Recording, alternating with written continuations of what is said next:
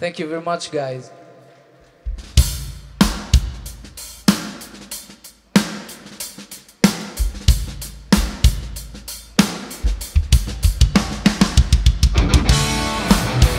And this is Show Me How to Live!